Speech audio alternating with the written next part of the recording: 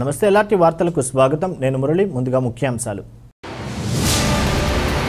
ASR tech పార్క్లో Medtronic engineering కేంద్రాన్ని మంత్రి కేటీఆర్ ప్రారంభించారు. మిషన్ భగీరథ నీటి అంతరాయం సమస్యను పరిష్కరించాలని జిల్లా కలెక్టర్ కృష్ణభాస్కర్ సంబంధిత అధికారులను ఆదేశించారు.